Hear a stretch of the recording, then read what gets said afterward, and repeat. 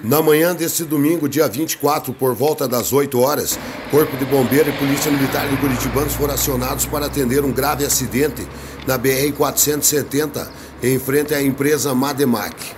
O veículo Palio Placas de Curitibanos seguia sentido Monte Alegre quando perdeu o controle e acabou colidindo no rodado de um caminhão Placas de Erechim. Condutor do caminhão apenas ferimentos leves. Já o condutor do Palio Ezequiel Ortiz dos Santos não resistiu aos ferimentos e veio a óbito no local. Segundo informações, o mau tempo, a neblina e a pista molhada contribuíram para o acidente. Com informações e imagens, Júlio Hang para o site curitibanosonline.com.